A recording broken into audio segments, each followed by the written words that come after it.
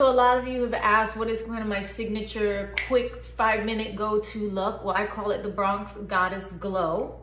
Um, and it's four easy steps. I start with my JLo Beauty Serum. gotta prep the skin. And this is when you need to do something really quick for a fun girls night out. You don't wanna be too fussy. You're not trying to impress nobody. You're just trying to look your best. That blockbuster.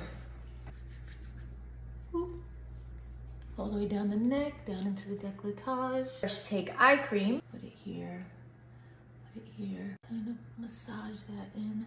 JLo Beauty Complexion Booster, put it all in contour areas. Pink champagne, and I'd use it as a highlighter.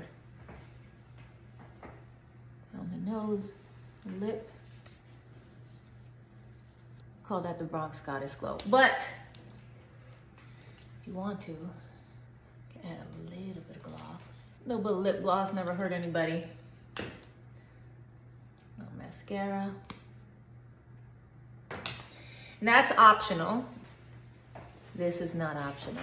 Bronx Beauty. You gotta have your hoops.